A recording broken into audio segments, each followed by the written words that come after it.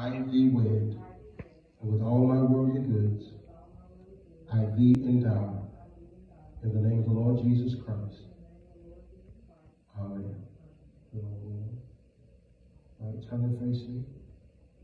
O eternal God, creator and preserver of all mankind, giver of all spiritual grace, author of everlasting life, send thy blessings upon these thy servants, this man and this woman, whom we bless in thy name, that they may surely perform and keep the vow and covenant between them made, where these rings given and received are a token and pledge, and may ever remain in perfect love and peace together, and live according to thy laws through Jesus Christ our Lord.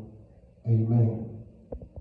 For as much as Mr. Walter Tobias Moore and Miss Sabrina Louise McKinney have consented together in holy wedlock, and have witnessed the same before God of this company, and thereto have given and pledged their troth each to the other, and have declared the same by the giving and receiving of rings, and by joining hands I pronounce that they are man and wife in the name of the Lord Jesus Christ.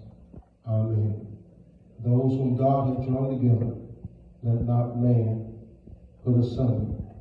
May the Lord mercifully, with his favor, look upon you, bless, preserve, and keep you, that you may live together in this life, and in the life to come, you may have everlasting life.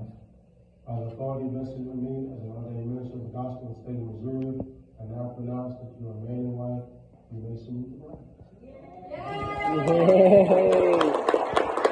Lord, Brother, Sister Walker, Moore.